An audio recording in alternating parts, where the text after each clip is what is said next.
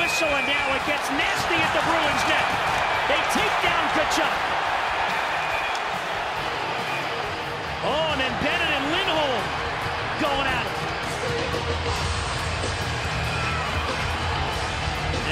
Boy, oh boy, the fights don't stop between the Panthers and the Bruins. We got a lot to talk about. Don't you move a muscle, stick around.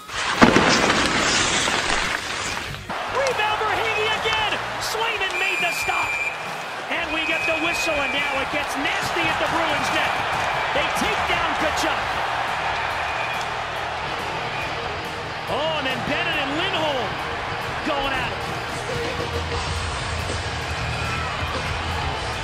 Now Lindholm doesn't want to bark up that tree. No. That's the second time in this game. Oh, Oh, they're there, they go. go. Lindholm threw the cheap shot at Bennett, and that's enough for Sam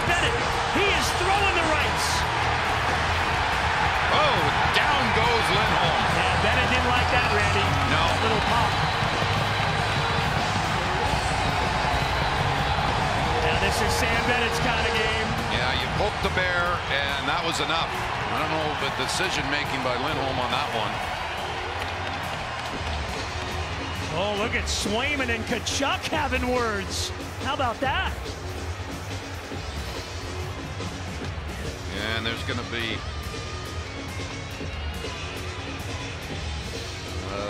bunch of penalties going to be called here.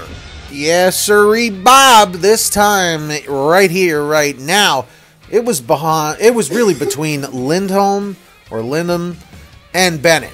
All right, not to be confused with Bennett from that movie with Arnold Schwarzenegger. Okay, we're talking about the Bruins. We're talking about the Panthers here. Okay, so who do you think won this fight? Do you think it was Lindholm? Do you think it was Bennett? I want to hear from you. Uh, if you love hockey as much as we do, make sure to subscribe with all notifications on.